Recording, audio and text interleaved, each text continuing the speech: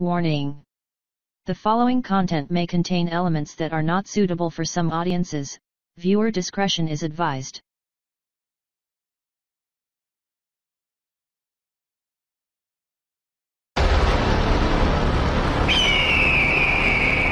வணக்கம் இன்னைக்கு நம்ம பார்க்க போகிற படம் வந்துட்டு சூரரை போற்று உங்களுக்கே தெரியும் தீபாவளி ரிலீஸ் ஆக்சுவலாக இது ரொம்ப முன்னாடியே ரிலீஸ் ஆகிருக்கணும் ஆனால் தள்ளி தள்ளி தீபாவளி எப்போ ரிலீஸ் பண்ணிக்கோங்க? ரைட் டைம் ரிலீஸ் அப்படின்னு சொல்ல ஓடிடியில் ஓடிடியில் நிறைய படம் பார்த்தோம். ஸோ இது சூரரை போற்று. வேறு மாதிரி படம். இது என்ன அப்படின்னு இப்போ கேட்டிங்கன்னா என்ன பொறுத்த வரைக்கும் என்னென்னு கேட்டிங்கன்னா கொஞ்சம் கோபிநாத் சாரை பற்றி கொஞ்சம் தெரிஞ்சுக்கிட்டேன். ஏர் டெக்கான் உங்களுக்கு எல்லாமே தெரிஞ்சிருக்கும். கண்டிப்பாக இது ஒரு பயோபிக் படம் அப்படின்னு தெரிஞ்சிருக்கும். ஸோ கோபிநாத் பற்றி படிக்கும்போது எனக்கு சில ஃபோட்டோஸ் நான் கூகுளில் தெரிஞ்சு பார்த்தேன் பட் இந்த படத்தை பொறுத்த வரைக்கும் சூர்யாவை பார்த்தோன்னா நான் கோபிநாத் அப்படியே சூர்யாவை வந்து கோபிநாத்தாக மாற்றிட்டு சூர்யாவை அப்படியே பார்க்கும்போது ஒரு மனுஷன் ஒரு ஒரு தன்னோட தன்னோட கோல் தன்னோட எய்ம் அதாவது அதை ஃபிக்ஸ் பண்ணிட்டா அதை எப்பேற்பட்ட கஷ்டமாக இருந்தாலும் அடையஞ்சே தீருவேன் அப்படின்ற அட்டம் இருக்குது பார்த்தீங்களா? அந்த வெறி. அது வந்து உண்மையிலே வந்துட்டு மிகப்பெரிய ஒரு விஷயங்க. அந்த அது அந்த அந்த வெறியை வந்து இந்த படத்தில் வந்து பார்க்கலாம்.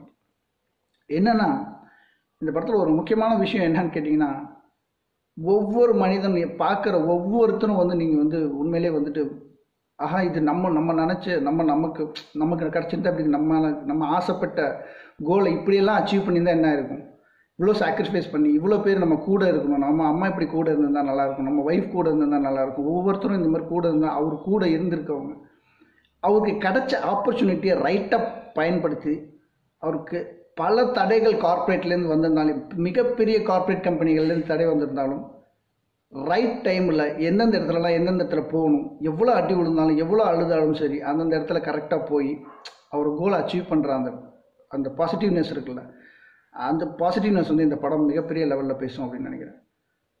செகண்ட் ஒன் சூர்யாவோட ஆக்டிங் சொல்லவே வேணாம். மிகப்பெரிய ஒரு ஒரு ஒரு தீனி போட்ட மாதிரி இந்த படம் இருக்குது என்னன்னு கேட்டிங்க அப்படின்னா சுதா கொங்காராவ் சும்மாவே ஆக்டிங்கை பிடிஞ்சு எடுத்துருவாங்க. ஸோ சூர்யாவுக்கு சொல்லவே வேணாம். சும்மா போட்டாலே போதும். அவர் சாப்பிட்டு போயிடுவார். அதே மாதிரி அப்பர்ணா அப்பர்ணா வந்து நல் மிகப்பெரிய ரோல்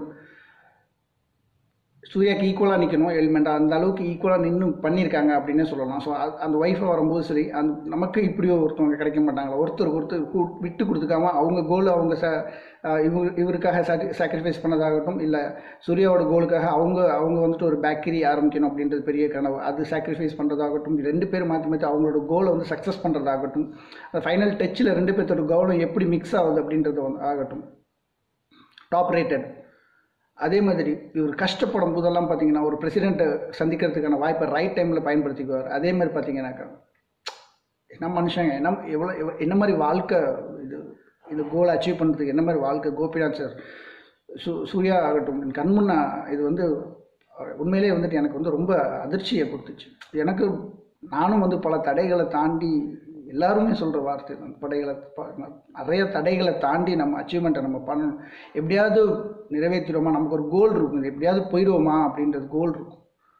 ஆனால் அதுக்கு நிறைய தடைகள் வந்து தடைகள் ஏற்பட்டு ஒரு இடத்துல முடங்கி உட்காந்து வேற ஒருத்தருக்காக இந்த வாழ்க்கையை காசு பணம்னு நம்ம சம்பாதிக்க போகும்போது நம்ம கோலெல்லாம் விட்டுட்டு சம்பாதிக்க போகும்போது நம்ம பிள்ளை மேலே நம்ம நம்மளோட கோலை திணிக்கும் போது ரொம்ப மனசு கஷ்டமாக ரொம்ப மன வேதனையில் இருக்கும். ஆனால் இதெல்லாம் இல்லாமல் என்னோட கோலை அச்சீவ் பண்ணியே ஆகணும் அப்படின்ற அந்த கோபிநாத் சாரோட அந்த அந்த அந்த அச்சீவ்மெண்ட் இருக்குது பார்த்தீங்களா அது உண்மையிலேயே மிகப்பெரிய ஒரு விஷயம்.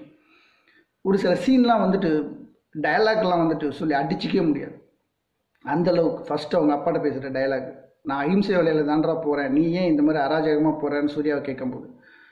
சூர்யா வந்து அதுக்கு கொடுக்குற பதிலாகட்டும் அதுக்கு அவங்க அப்பா அடிக்கும்போது சூர்யா சொல்கிற ஒரு வார்த்தை. இப்போ என்ன மையத்துக்கு நீங்கள் இங்கே வந்து அஹிம்சை எடுக்காமல் வந்து நீங்கள் ஏன் இந்த வழியில் போராடுறீங்க எதுக்கு அடிச்சீங்கன்னு கேட்கும்போது ஆகட்டும்.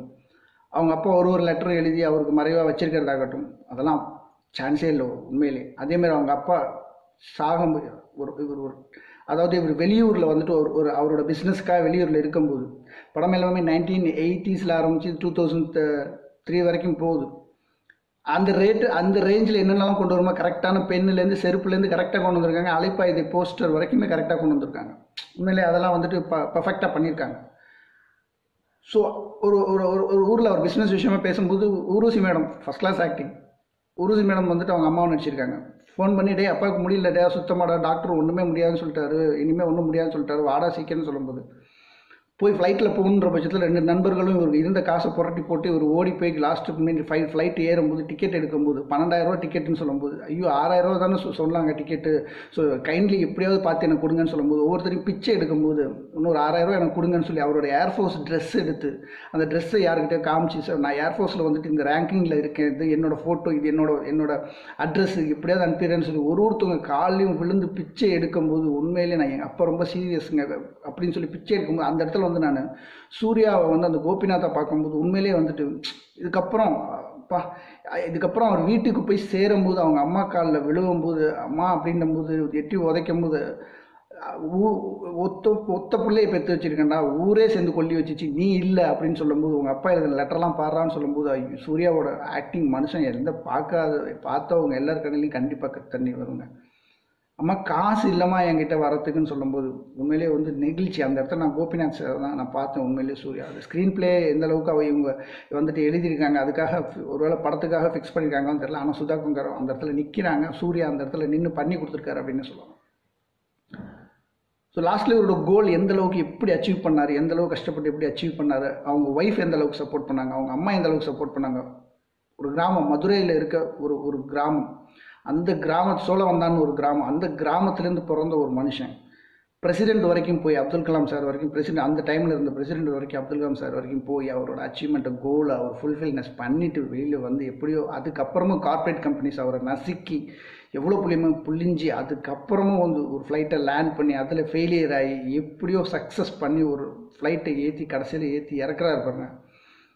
ஃப்ளைட்டை ஏற்றி இறக்குறதுனா எவ்வளோ சிரமம் தெரியுமா? ஒரு ஒரு ஒரு ஒரு கிராமத்துன்னு நினச்சி பாருங்கள் அது உண்மையிலே வந்து ஒரு ஒரு ஒரு மிகப்பெரிய ஒரு மனுஷன் ஒரு பண்ணியிருக்காரு அப்படின்னா நோ வேர்ட்ஸ் டு சே இது இதை படமாக எடுத்திருக்காங்க அப்படி சுதா கொங்கரோ அப்படின்ற பட்சத்தில் அவங்களுக்கு வந்து வார்த்தைகளே கிடையாதுங்க. இறுதி சுற்றாகட்டும் இல்லை இந்த படமாகட்டும் பயோபிக்ன்றது சாதாரணமாக எடுத்து பண்ணிட முடியாது அவ்வளோ சீக்கிரம். இப்போ அசுரன் ஒரு நாவல்லேருந்து எடுத்து தழுவி பண்ணுறது அதுவும் மிகப்பெரிய விஷயம். இந்த பயோபிக்ன்றது அவங்க அவங்க வாழ்க்கை வரலாறை கரெக்டாக எடுத்து போடணும்.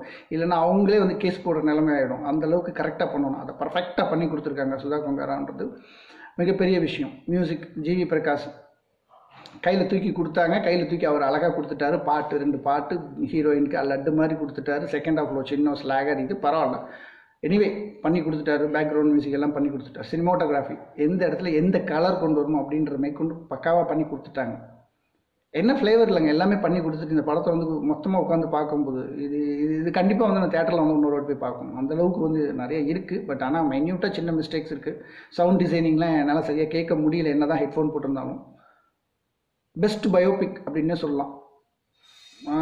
நிறைய தோனி எம்எஸ் தோனியெல்லாம் பார்த்துருக்கோம். ஆனால் இந்த இந்த பயோபிக் நீங்கள் பாருங்கள் ஒவ்வொரு இடமும் சரி ஒவ்வொரு டைலாக்கும் சூர்யாவோட கண்கள் சரி எல்லாருமே அதே மாதிரி அப்பர்ணாவோட ஆக்டிங்கும் சரி ஊர்வசியோட ஆக்டிங்கும் சரி அவங்க ஃப்ரெண்ட்ஸாக அவங்க ஆக்டிங்கும் சரி கருணாஸ் இடத்துல கருணாஸ் மாப்பிள்ள என்ன பணம் எவ்வளோ எவ்வளோ மாப்பிள்ள வேணும்? இந்த காசு வச்சுக்கூட இதெல்லாம் சேர்த்து வச்சதுதான்டா நான் சொல்லி ஒரு பன்னெண்டாயிரம் ரூபா காசு கொடுக்கும்போது இல்லை மாமா மனசே பெரிய மனசு.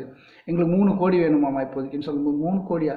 அது சைஃபர் எனக்கு எவ்வளோ எவ்வளோன்னு தெரியலையே மாப்பிள்ளன்னு சொல்லும்போது அந்த சொந்தக்காரங்களோட அன்பு இதெல்லாம் சேர்ந்து ஒரு மனுஷன் தூக்கும்போது இதுதாங்க படம். இது மிஸ் பண்ணால் வந்து மனுஷனே கிடையாது. இது கண்டிப்பாக பாருங்கள் தயவு செஞ்சு நீங்கள் ஓடிடியில் பார்ப்பீங்களோ இல்லை லேட்டர் படம் ரிலீஸ் ஆகி தேட்டரில் பார்ப்பீங்களோ ஒவ்வொரு யங்ஸ்டர்ஸையும் எப்படி தூக்கி விட்டுச்சு? அவங்க உங்களோட கனவை அப்படியே பிரதிபலிக்குங்க. சாக்ரிஃபைஸ் பண்ணி ஒவ்வொருத்தனுக்காகவும் விட்டு இன்றைக்கி வீட்டில் உட்காந்துருந்து வந்து நூலாகி காலையில் எழுந்திரிச்சு வேலைக்கு போயிட்டு சாயந்தரம் ரொட்டீனாக வந்துட்டு வாழ்க்கையை யாருக்காகவோ வாழ்ந்து இல்லை அவங்க வீட்டுக்காக வாழ்ந்து வாழ்ந்துட்டு இருக்கான் பார்த்தீங்களா கனவெல்லாம் விட்டுட்டு அவங்க ஒரு ஒருத்தருக்குமே பூஸ்ட் தாங்க இந்த படம். இந்த படத்துக்கு என்ன சொல்கிறது ஒன்றும் சொல்கிறதுக்கு இல்லை. பாருங்கள் சூர்யாவோட பர்ஃபார்மன்ஸ் அபர்ணாவோட பர்ஃபார்மன்ஸ் சுதா கங்கரோட டைரக்ஷன் ஜிவி பிரகாஷ் மியூசிக் பாருங்கள் இந்த படத்தை போய் பாருங்கள் சொல்கிறதுக்கு இல்லை. நெக்ஸ்ட் ரிவ்யூவில் பார்ப்போம் ஸோ நெக்ஸ்ட் அடுத்த படங்கள் வர வேண்டியது இருக்குது கண்டிப்பாக பார்ப்போம் don't miss it if you miss it again you can't see a good pictures like this இதுக்கு மேலே இந்த படத்தை மிஸ் பண்ணிங்க அப்படின்னாக்கா டிவியில் போட்டால் பாதி பாதியாக கட் பண்ணி போடுவாங்க. தயவு செஞ்சு ஓடிடியில் பாருங்கள் அப்படி இல்லைனாக்கா தேட்டரில் போய் பாருங்கள் தேங்க்யூ அகைன் நம்ம இன்னொரு ரிவ்யூவில் சந்திக்கிற வரைக்கும் உங்களிடம் விடைபெறுவது உங்கள் ஷி பாய்